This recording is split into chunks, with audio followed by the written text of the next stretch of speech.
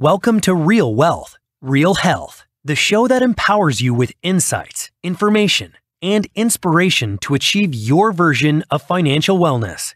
Learn how to balance living a full life today with planning for the future.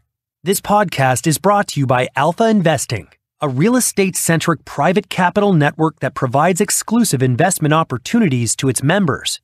And now, here are your hosts, AdaPia d'Errico and Daniel Coca.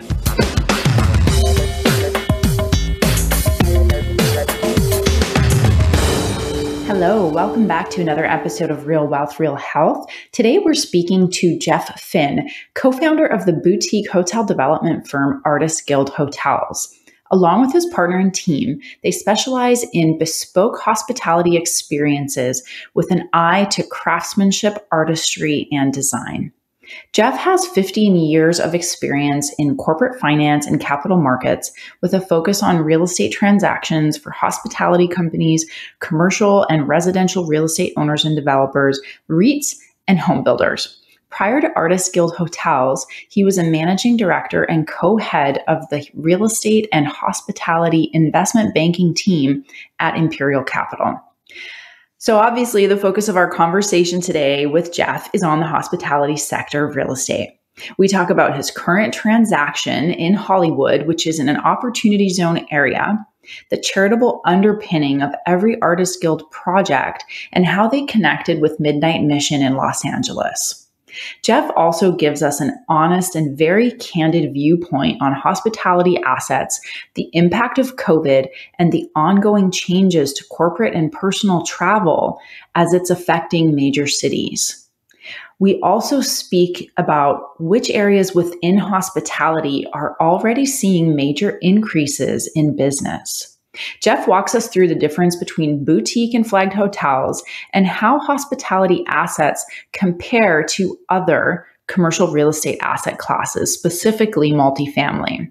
We learn what makes a hotel deal structure unique and how to assess its risk. There's so much to learn about the hospitality industry, hotels, hotel development, and opportunities in this episode. Hi, Jeff. Thanks for joining us on the podcast today. Thank you very much for having me.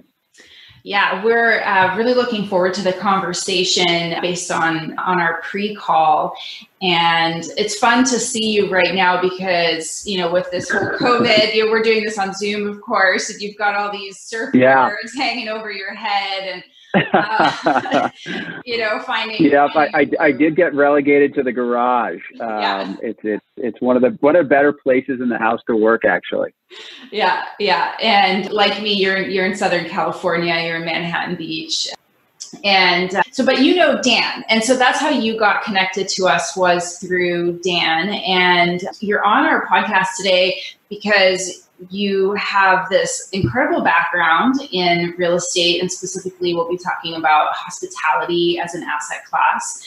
And what we're also really excited to talk to you about is the company that you formed with your partner Danny and what it's all about. Yep. So before we jump into hospitality, which you know, of course, at this moment in time, in end of May of 2020, looks like zombie land due to, to COVID.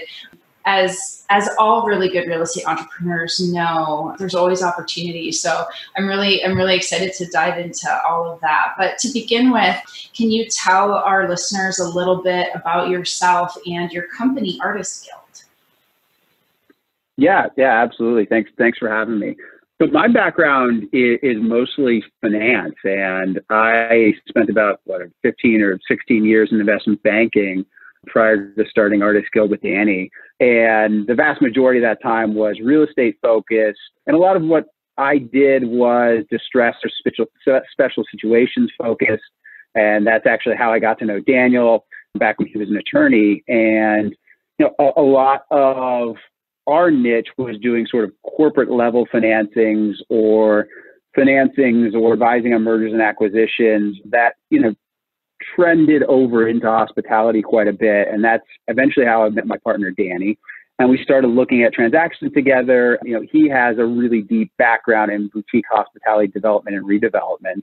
and has done 20 plus boutique hotels primarily in Southern California and primarily kind of high barrier to entry markets of Southern California. And his real niche and his former company's real niche um, still is sort of finding underutilized assets and re-envisioning them, you know, in a way that you know, maximizes the cash flow that you can generate from that product. And very, very good at doing it. I think what made them unique was not only sort of bringing a boutique and artistic touch to what they did and what you know we now do also, but also doing it in a way where we have a really distinct focus on controlling cost and making sure that you know we do something that is impactful, but you know is also something that you know from a cost basis standpoint that makes sense for our investors. And you know a lot of what my background brought to the table was also looking at that and saying, can we be more impactful from a situational perspective? Can we find assets and acquire assets where we're not you know competing at the highest per key cost basis? Can we find unique transaction structures can we find, and this was hard up until a couple months ago, find assets that maybe there's a capital structure issue or there's some distress that's involved.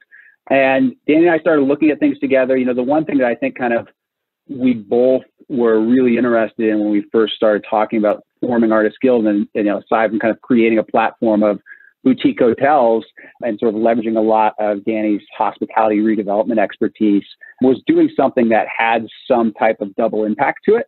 And, you know, we both live and have lived in Los Angeles for a very long time and Southern California for a very long time. And in particular, when we started looking at, you know, what's our project in Hollywood, you know, it was a long time ago. There was, we started looking at that project sort of middle of 2017, I think.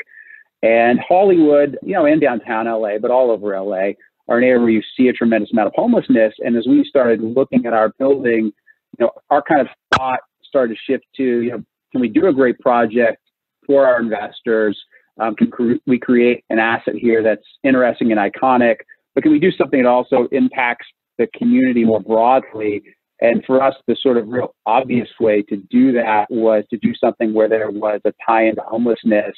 And we kind of, after brainstorming on it for a really long time, sort of thought there was kind of something poetic about the hospitality industry as a hotel, you know, partnering up with, you know, the homeless services organizations that are in any city, but in Los Angeles in particular for us, because you do have, you know, fundamentally when you think about hospitality and hotels, you have a visitor coming to a city for a night or several nights when a resident of that city, you know, may be homeless. And sort of this concept of, you know, a traveler being sheltered here you know, we thought could translate to, well, are there opportunities to create shelter for someone in this city who is a resident who doesn't have it?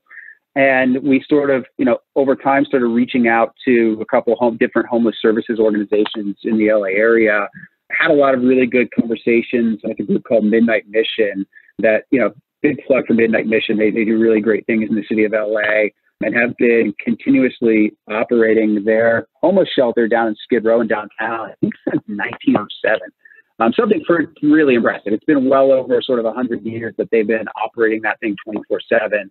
And so we felt like they were a really natural partner for us and, you know, came up with this idea of doing what we're calling sort of a night for a night, where for any individual that stays at our hotel, um, so we have a guest there, we donate proceeds to house a person at the Midnight Mission for a night in downtown LA. And that sort of initial concept is something we're trying to tie throughout the rest of the projects we're doing as Artist Guild is you know something that you know, was really important um, because it's you know it's fun to go to work and work on real estate projects, but it kind of gives you this a little bit broader sense of purpose when you're doing something like that. And I think it's been a huge motivator for us um, to kind of you know when you're having tough days on a project and you have setbacks or whatever it is to kind of feel like you have a little bit broader of a purpose. It motivates us too. Um, in addition to hopefully it's something that you know has an impact in the city, and we're actually hoping that other hotel or hospitality operators, you know, do more of it, you know, kind of steal the idea. Um, we, would love to see sort of it become sort of a de facto standard, you know, in Los Angeles or in hospitality broadly, where someone saying, look, you know, we're going to partner with, it could be any, you know, any sort of charitable cause. But I think there's something for us that sort of rang true about homelessness that, that made us focus on that. Yeah, for, first off, and we've talked about this before, you know, huge congrats on on making the move. Hopefully, you'll have the opportunity to, you know, buy that piece of your soul back you gave up as an investment banker for, I'm, I'm working on it my, myself as well. But it, it's an awesome story. And uh, one of the things we want to chat about first is this whole opportunity zone investing and what that means. It's it's been in the media for for years, and you and I talked about this separately. There's a, a media cycle in real estate, and opportunity zones really got hyped up for a while. They definitely provide some interesting, you know, tax incentives for certain types of investors. Your project, interesting to me, was located two blocks from where I lived in a brand new Class A building in Hollywood. So, not exactly that true opportunity zone as uh, people might think about it. But you know, Hollywood is a is an area that's you know undergoing a, a lot of change, a lot of development, and and whatnot. And so, just as a first step, would love to hear your perspective on opportunity zone deals, why they make sense, who they make sense for why you guys thought this project fit into that category, you know, all, all that kind of stuff. Yeah, that's it's it, we, we did. You know, I, I, would say our involvement in opportunity zones was unintentional. When we, I think I mentioned uh, when we first started looking at this asset when it was first for sale. Um, this was the uh, I think summer of 2017. The Tax Cut and Jobs Act wasn't actually passed. I think until late December of 2017. So our sort of interest in this asset kind of predated the, you know, the actual formation of the legislation that led to the Opportunity Zone program. And I think that kind of is, that fact can kind of fundamentally describe sort of, you know, how we think about opportunity zones, which is if you have a great project and something you really like and think fundamentally is makes sense and is a good location, great project, great team around it, it's nice to have the opportunity zone benefits, but I would always generally think about it as kind of a nice to have.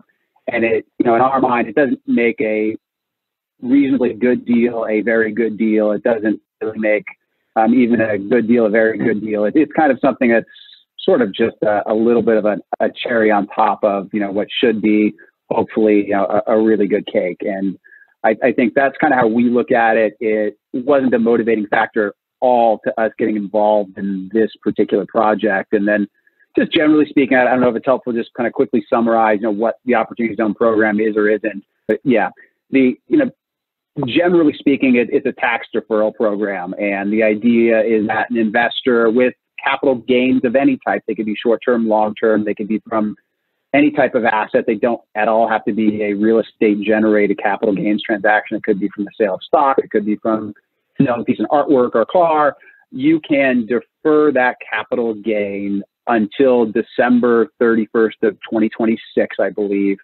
and reduce that gain by up to 15%. And then any new gain from the new investment is cap gains tax free when that capital gain event is triggered in the future. So it does provide someone who happens to be sitting on a capital gain. Maybe you're sitting on, you know, large gains in equities and you say, look, you know, the market's rebounded tremendously from sort of the COVID lows. I want to take some dollars off the table here, but I don't necessarily want to have to pay cap gains tax, particularly if it's short term cap gains. If you find a really good project that you otherwise wouldn't invest in and think it's a, it's a great project, you know, at that point in time, I think it's, you know, it's worth thinking about other things being equal. An opportunity zone project is beneficial for an investor in that context. The one thing I would caveat though is, you know, there's a there's a loss of liquidity when you're doing that, right? You do this, that project will be held for 10 years. And for some people, that doesn't make a lot of sense, right? But generally, I think if you're going to be acquiring real estate, you shouldn't be thinking about a hold period of less than 10 years in most situations anyway. So that's sort of our thoughts on it, how we got involved. It was really mostly an accident, quite honestly. And then I think another important component of opportunity zone deals is the redevelopment component you know you're yeah. not investing in uh, you know your typical kind of value add. We're going to spend 10k a unit doing renovations. This needs to be a, a, heavy lift. And in your case the project you're working on is perfectly suited for that. But we could just chat a little bit more about exactly what you guys are doing yeah, so we have a uh, what's about a 1920s vintage office building on Hollywood Boulevard, just a few blocks west of the W at Hollywood and Vine. And we're taking that 1920s office building and converting it into an 85 key boutique hotel. And, you know, the general premise is, is to renovate that project. We're actually adding a few stories to the project, so it is a significant renovation. We're keeping all of the historic exterior of that building. Um, it's, it's a, you know, what we think is a visually interesting building that is a contributor to a historic district in Hollywood. Um, so we're really excited about doing something that you know not only is an opportunity zone program, but you know in our minds kind of contributes to some of the historic fabric of Hollywood, the neighborhood we're in. And the idea is to create a product there that you know is maybe a little bit upmarket from kind of what exists there today. Sort of a higher end luxury boutique asset there that'll have some, you know, hopefully some great F and B outlets and some things like that that make sense given the location in Hollywood. Is the project near any of the new the new public transit that was coming in as well? It's it's located right next to the Hollywood Vine Metro Station. That metro station has been there um, for quite a while, but is a is an important metro station in LA. I think it's one of the highest traffic metro stops that's there, and that's that that metro station sort of just below sort of the W complex there. We're a block and a half west of that, so for location from a public transit standpoint, and we're also happen to be sort of on the walk of fame there in Hollywood. to get a lot of you know, pre-COVID, got a lot of pedestrian traffic through that portion of Hollywood, and you know our building happens to be sort of in a view area where you know you do have tremendously interesting views of the Hollywood sign, uh, particularly as we're adding some stories to that building.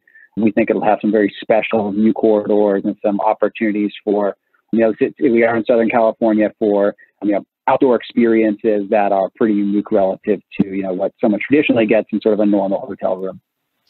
Yeah.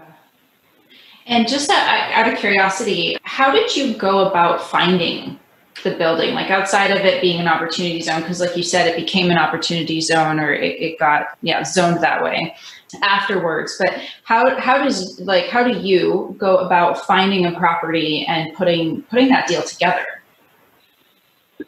You know, it, it's, a, it's a good question. I, I, would say this is a really kind of case study, sort of our typical acquisition. You know, it's something that generally takes a, for us, usually takes a really long time and is usually something that has, it's either something that was, you know, came about because there was some situational distress, whether or not it was just a great asset with a bad capital structure, whether or not maybe there was a lawsuit surrounding it. And this is a lot of what we look at and a lot of what we you know, particularly today, and it, it was the case with this asset in Hollywood, it's sort of what I would describe as a busted sales process. And we see a lot of those where someone goes to market with something um, with some sort of price or some sort of structure in mind, and it's just off market. And that was really, really typical, particularly in that time frame, kind of going into 2016, 2017. Um, and you know, still sort of pre-COVID was the case 2018 and 2019 as well, where you just had sellers whose views with respect to market values, you know, were not in tune with what buyers were willing to pay. And that was sort of the case with this asset. It got listed for sale and was up for sale for quite a long time. Didn't ever transact. We put in a couple bids to purchase the fee that were you know, significantly, significantly less than what the asking price was, and didn't get any traction there. And the asset sort of continued to sit. And then the owner there, you know, for a lot of reasons, you know, ended up having some issues at the asset and had started to have some tenants leave largely because he just wasn't maintaining the asset. I think when he decided, hey, I'm going to put this up for sale, the idea was I'll put this up for sale. I can kind of take my foot off the gas. And it just didn't sell quickly. And it led to some erosion of the tenant base that was there at the existing office building, left him with a lot of vacancy. That vacancy sort of oddly enough transitioned into there being some squatters at the asset and the asset sort of evolved in the situation where there were just some problems around it and we ultimately decided to go with him and offer it, offer to ground lease the building instead of actually purchase the fee. And so we sort of went to what became sort of a, a transaction with a little bit more hair on it over time and brought, you know, what was sort of a different transaction structure than I think what the owner was ideally looking for, but something that ultimately enabled us to take control of the asset. So now we, we don't own the fee to the building. We actually have a 99 year ground lease on the asset that you know allows us to redevelop it and hold it for quite a long time. It functionally should, you know, from our standpoint and our investor standpoint, you know, really be sort of the equivalent to fee ownership in the asset, but was really the only way we could transact at an economic level that you know made rational sense in terms of generating good returns for our investors. And then there was, as we were doing that, sort of this deterioration in the building itself that, you know, from our standpoint as, as a potential buyer was pretty useful. And you know, we've looked at a lot of assets that are like that, where there's just something that sits for a while, uh, where an owner has an idea about value, and you can come to him and be creative and outside the box and say, look, maybe we joint venture on the asset, maybe we'll ground lease the asset from you. And then we look at stuff that is more outright distress, right? And some of that's not only market driven, some of that's capital structure driven. You know, someone who happens to be in default and we've seen assets, you know, we're working on an asset right now here in Southern California that's in receivership um, because an owner refused to comply with some orders to make some fire code changes from the city. And it got so bad, the asset ended up in receivership. So we kind of look for situations like that. I think one of the things that's really made us a little bit different, and particularly in kind of the boutique world, is we don't necessarily say, look, we're going to, we're creating this boutique brand and every asset that we're going to work on needs to fit in this box that we've created. And, you know, that's sort of been a strategy a lot of people have followed, some people very successfully. We say, look, this is what a artist guild asset is. And they're all going to have the same name. They're all going to fit this formula. And we're going to do our first one here in New York. And then maybe we'll do a second one in New York. Then we'll go to LA. Then we'll go to Portland. Then we'll go to Austin and you know, then we'll go to Nashville for Daniel, and that that has worked really well for a lot of people. I, you know, I think for us, you know, where that hasn't worked so much, is you tend to sort of force yourself into finding a transaction and needing a transaction that is exactly a certain way. And the best opportunities we see tend to be more organic, where you have to adapt to the transaction. I think that's something fundamentally that Danny and I sort of have always agreed upon is to not let sort of our desire to create something exact and make every asset um, rhyme with the next one overrule our desire to find really good transactions.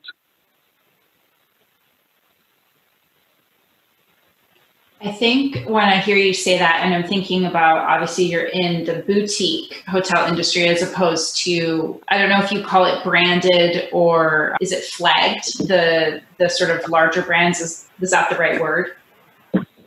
Yeah, I, I think flag's a good way to put it. Okay. That it it seems contrary to try to take a boutique brand and force that brand into an asset at least at least for me and maybe i have more of an artistic bent but i think that especially if you're working with assets like the one in hollywood that is in a historic location that preserving some authenticity in that building serves you and provides actually a much better experience for your guests. So I like I like your approach that you're that you're not trying to force your idea onto an, an asset. Yeah, we, we felt like that that was really important as we were, you know, trying to kind of create the fabric of what is Artist Guild and try to be, you know, flexible and creative, not just in terms of what we bring and create at the asset level, but also in terms of how we approach actually acquiring an asset and you know try to bring you know a certain amount of kind of artistry to the actual deal structure itself and to how we think about things. And I think fundamental to that was just being creative and trying to be opportunistic and like you mentioned, not really kind of forcing a certain agenda onto a certain type of asset. Yeah. Yeah. Well, I would love to continue talking about all things design and, and brand. I love, I love that kind of stuff. But what I would, I actually think it'd be a really great time now to transition into hospitality um, as an asset class because yeah. obviously we're in this, it feels like a zero point there was the that really in hospitality there was before and there's going to be after as it relates to the pandemic. Whereas you know as alpha we, we invest in a lot of multifamily and there's not this big distinct before and after. Right. But it certainly seems to be that way in in the hotel asset class. So can you talk a little bit about the hospitality asset class and the impact that covid has had on it at least thus far yeah, I mean, it, it's been obviously a tremendously negative impact hospitality and hotels broadly. I mean, you if you look sort of across the market, you know, I'm just talking U.S. generally, you know, you had RevPAR levels that decreased by, you know, 80% going into, you know, a lot of April and the earlier weeks of this month. And that started to stabilize somewhat. I mean, I think the last sort of statistics I saw is on average across the US, sort of for like the first, I think the second week of this month, second week of May, you know, on average, assets were running in kind of the low 30s from an occupancy level.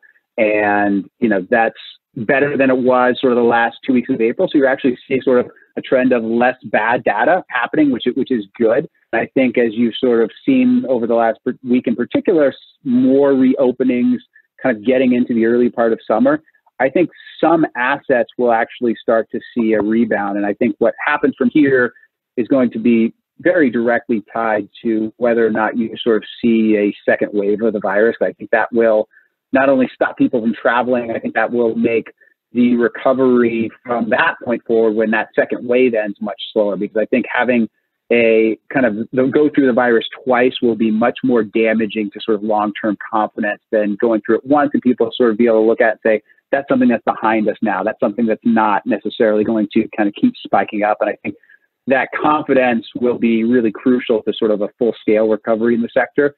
Um, but just generally i mean the, the impact in the you know from a hotel perspective was you know, pretty catastrophic. It's you know one of the probably worse events, you know, as a hotel owner operator that you could probably imagine happening. And granted, it, it will be hopefully relatively short in duration, and the recovery out of it, I don't think will be sort of V-shaped, but I do think there'll be, and for there'll be winners and losers. But I, I think for some assets in particular, I think that there will be a reasonably rapid, you know, path back to at least operating profitably. And I think there is that sort of recover you know, it, it's going to be interesting to see, but I think you kind of have seen it to some extent precursors to that, at least that we've been hearing anecdotally. I, th- I think any place that's a a fly to market um, that's really dependent upon really regular airlift, like something like Hawaii.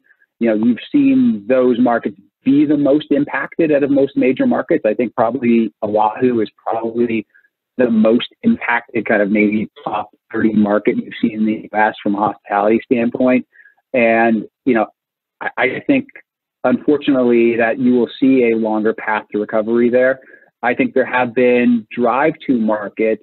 You know, we focus mostly on the West Coast, and most of my examples would be sort of West Coast based and California based.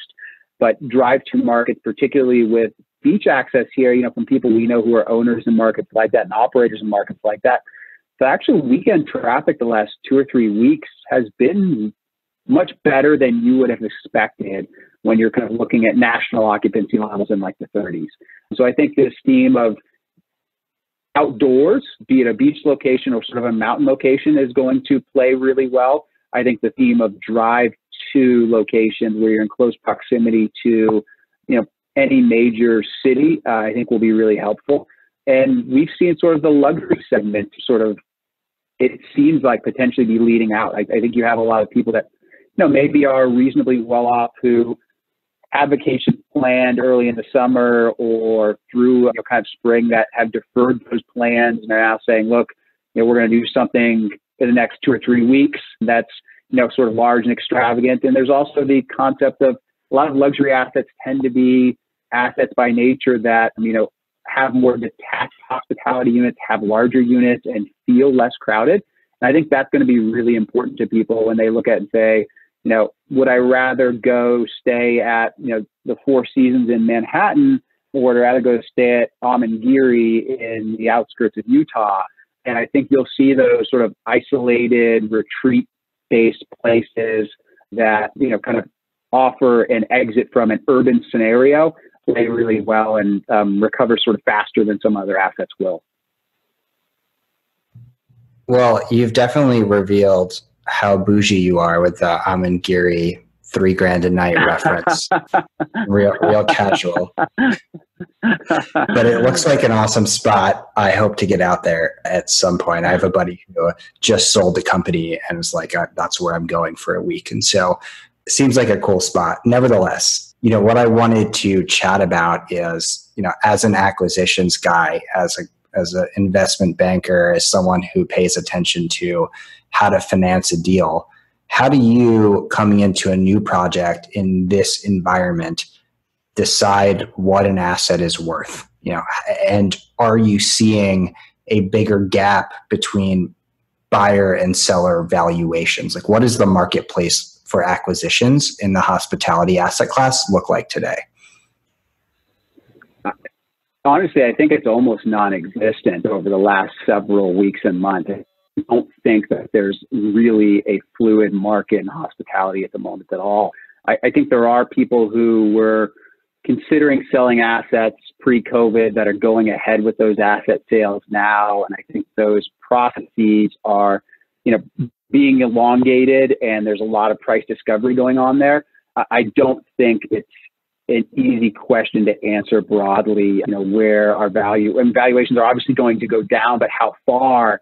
I think it really is going to be incredibly situational because of things we, sort of just discussed a little bit. I think if you're if you're talking about a, a high end luxury asset that can prove that they weather the COVID storm better than others, to some extent, you know, you may see premiums for assets like that when they do transact. And I think most owners are, at least right now, are thinking or hoping that the impacts will just be temporary. And if they don't have to sell today, they really aren't.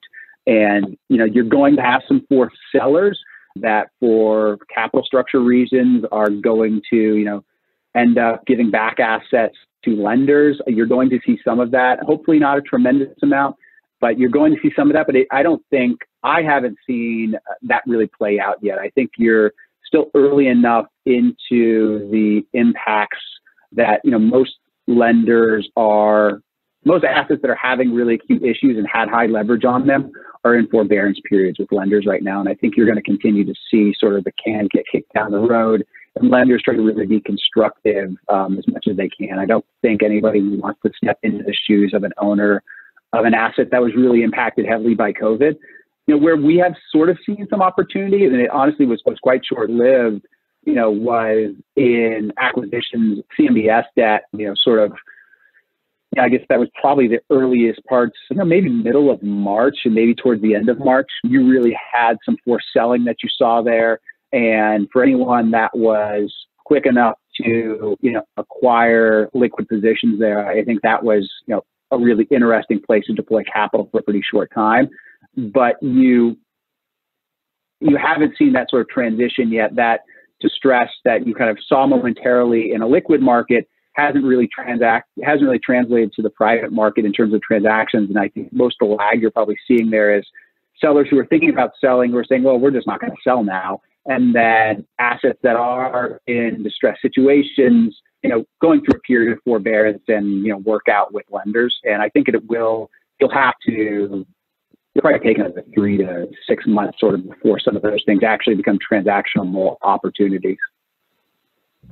So, as someone who is a real estate investor as well, you know, expanding outside of, of hospitality, where's the opportunity in this COVID environment, you know, as it relates to real estate or, or, you know, other alternatives? Like, what do you think is interesting these days?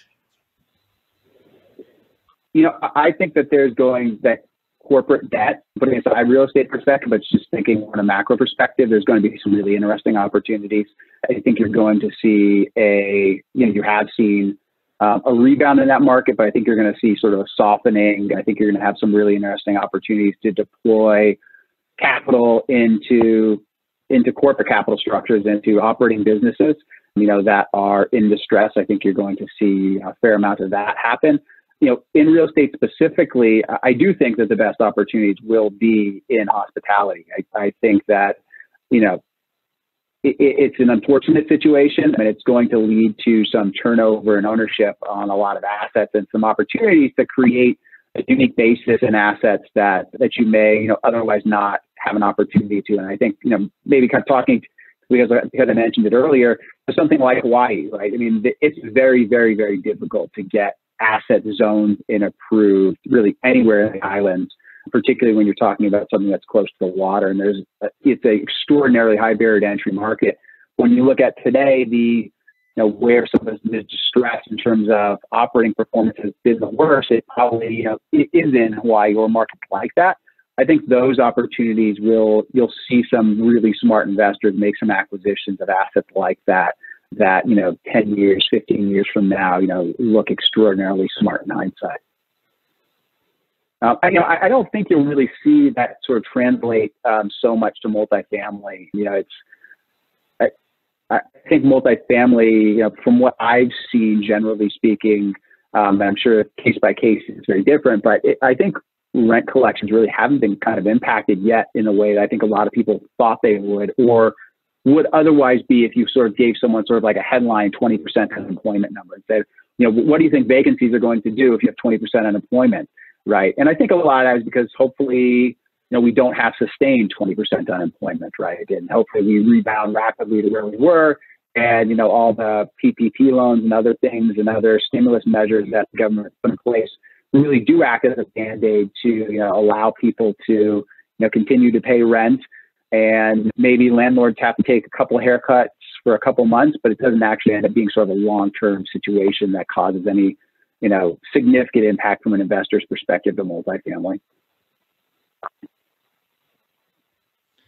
Yeah. Yeah. AdaPia, you asked you asked something a little bit earlier that that's kind of an interesting thing that you know we can touch on a little bit, which is sort of hospitality outside of COVID as an asset class, you know, yeah. relative to other real estate asset classes is, is kind of a unique one.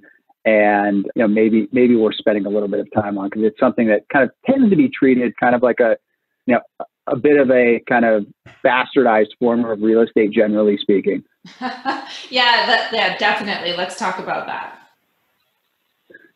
Yeah, I mean, it's you know, it's, it's an area obviously we like a lot, and I think you know the general perception, I think from a lot of real estate investors' perspective, and, and maybe maybe your your collective perspective, is you know, hospitality is an area to avoid as a real estate asset class and generally, the justification you would you would hear from most people is that hey, it's it's too close to an operating business, right? It's it's there's operating components to that that make it more complex, and there's inherent volatility because of the short-term nature of you know what what you would think of as leases, but short-term nature of stays at hotels, right? And so it's not the same as multifamily where you have year-long leases or retail where you can have five-year leases or office where you can have 10-year leases and you know, cash, there are longer contractual cash flow streams that are associated with the asset.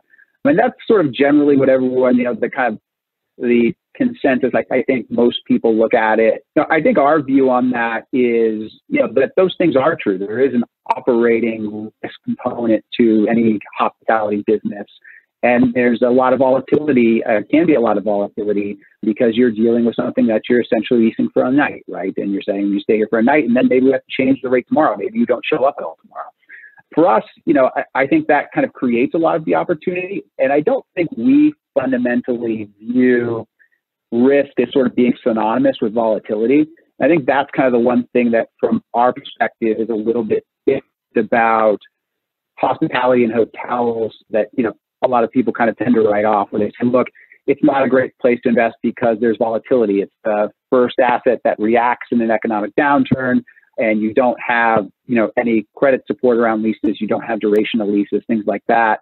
You know, I think the way we look at it is that risk isn't necessarily the same thing as volatility. And while you may have volatility in cash flows to us, risk is, you know, the way we conceptualize risk is more of the probability of kind of having a permanent loss. And when you think about holding an asset for a longer period of time and avoiding loss, things to us, things like maybe you have a seasonal asset where in the summertime you can, you know, have be running 85 or 90% occupied, and in the spring or fall shoulder seasons, you can be running 20% occupied. So an asset where there's an inherent tremendous amount of volatility in it. To us, that doesn't necessarily mean the asset is more risky to an investor, right? Because the way we look at risk is that well, what's the probability that you actually lose money? And when we think about risk and thinking about other asset classes, you know, and you guys obviously do a tremendous amount of multifamily and just picking on multifamily a little bit, you know, one of the reasons that, you know, generally real estate assets fat, fail in, in our experience really isn't because they're an operational issue at the asset as much as there's a capital structure issue. And an asset is over leveraged. And probably 90% of what I've seen in terms of failure in real estate and actual, what I perceive as risk, which is loss of capital, comes from an asset being over levered, not from there being operational volatility in the cash flow stream.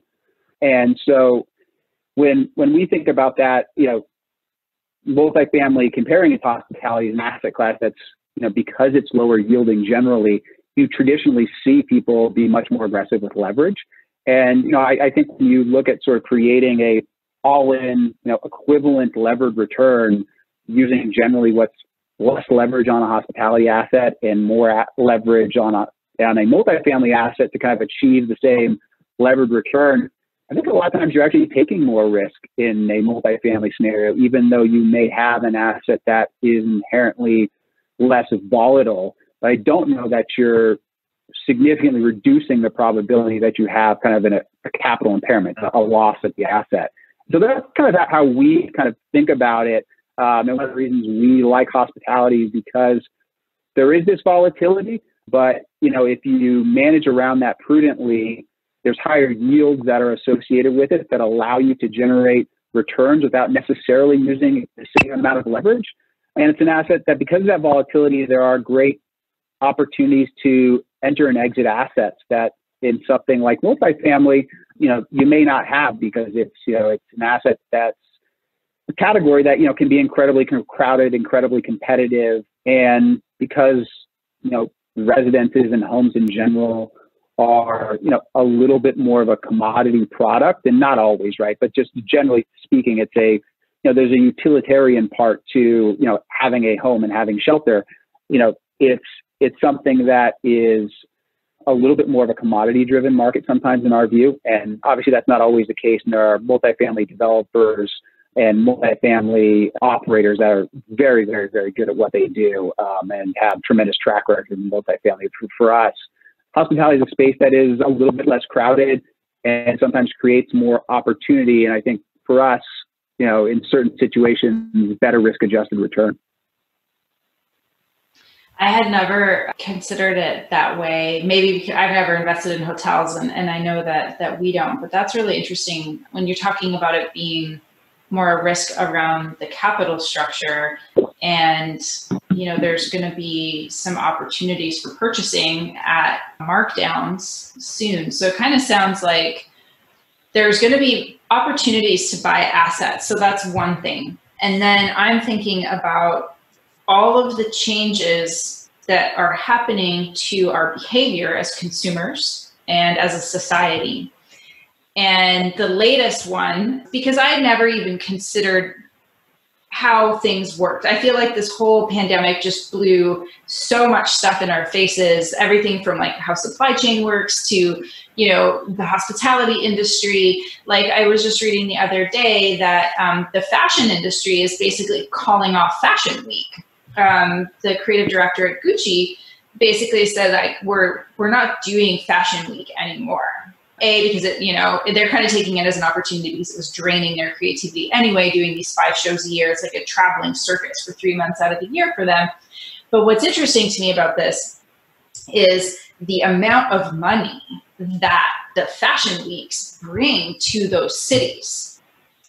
And i'm thinking if it's like 600 million for new york. It's like more than super bowl. It, it's the amount of money that fashion week brings and lack of you know people pulling back on conferences and doing a lot of summits online. And so where i'm trying to go with this is hotels.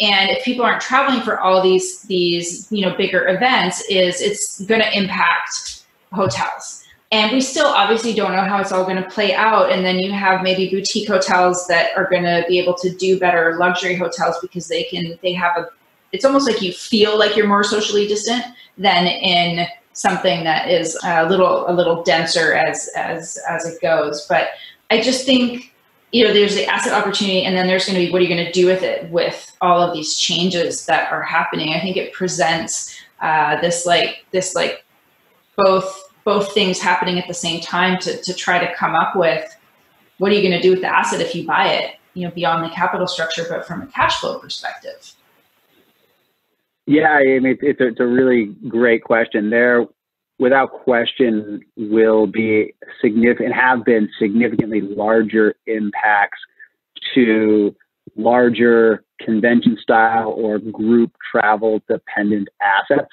I, I think those are going to be, you know, we kind of talked about locations in terms of product size and hospitality. Larger is definitely going to be worse, you know, at least for the foreseeable future. And I think anything that is business travel and group travel and convention focused and large event focused is really going to have a, a really hard recovery. And then the question becomes, do those assets recover? And if not, if you you know had a 500 room convention hotel that you know four years from now you know you're still operating this thing at 40 percent because it's so large and people four years from now are still look we'll do some group events but they're going to be smaller events. And you know we're going to you know run them over a larger number of days and have less participants and things like that and more interaction virtually. I think it's going to impact convention assets significantly. And then, you know, you're kind of seeing this in retail too. The question becomes, well, if those assets structurally end up being broken, is there a better and higher use for them? Um, just like people are looking at, you know, indoor malls today and saying, you know, can these things be demolished to create housing? Can they be reinvented, you know, as, you know, entertainment type assets? You know, can they be invent, reinvented as logistics facilities?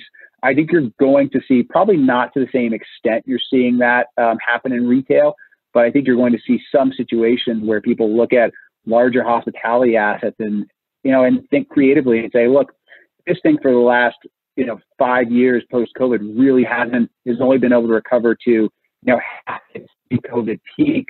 Is it better if I go in here, acquire this on some multiple of trailing cash flow, and reinvent it as you know as multifamily and create you know a multifamily asset of a hotel. And i think you may see some conversions like that longer term you know particularly in areas like california where you have you know acute need for housing. I think those things would be looked at really positively you know from you know most of a kind of city planning standpoint and from a general public perception standpoint you know, particularly if that use ends up being affordable housing, which to some extent, you know, hotel assets largely are better suited to do, you know, to create into, you know, affordable style housing than they are sort of traditional style housing, just because the room sizes are, you know, traditionally so much smaller.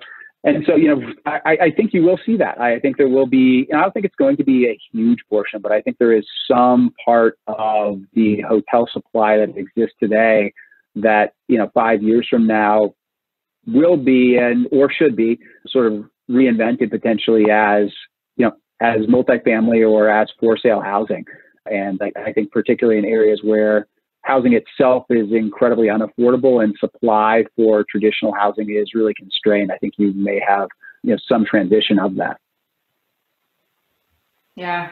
I'm, I'm really glad you went there with that because i was really curious what, what your thoughts were on the redevelopment of it, especially given it's different because you're going from an office to a boutique hotel with your opportunity zone in Hollywood. Yeah. But, you know, it there's like, to me, and we've talked about this on other episodes with other guests too, is is that real estate is fundamentally a creative industry. People get really creative and solutions oriented. And I, for one, am actually really excited to see how we come out of this in a few years, like what gets restructured, like literally to serve some needs that, like you're saying, here in Southern California, we have a housing shortage. We still will for a really long time. so, you know, it's the work that developers do, like you, to take an asset like you're doing with that that office and, and making it into a hotel, boutique hotel in Hollywood and maintaining it. And it's great work that you're doing. And all of your insights today were really wonderful. I've got a total education on on hotel and, and hospitality, and um, really looking forward to a. I'm going to go drive and see your building. when, when, I can. Yeah. Um, and just to, you know, for your projects in the future. And of course, we'll share um, the link to your website and um, some links so that people can go and, and find you and see what you're up to. Awesome.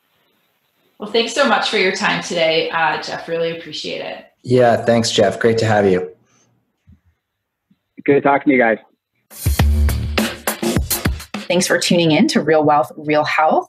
We hope that you've enjoyed today's episode and found it both informative and insightful. We welcome all your questions and your feedback about today's episode, and especially we welcome your questions about specific topics that you would like us to cover. So shoot us an email at podcast at alphai.com.